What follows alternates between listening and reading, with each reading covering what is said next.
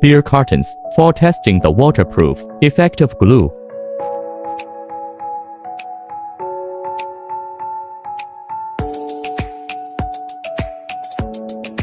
The effect of corrugated boxes, soaked for more than 10 hours, as if just glued.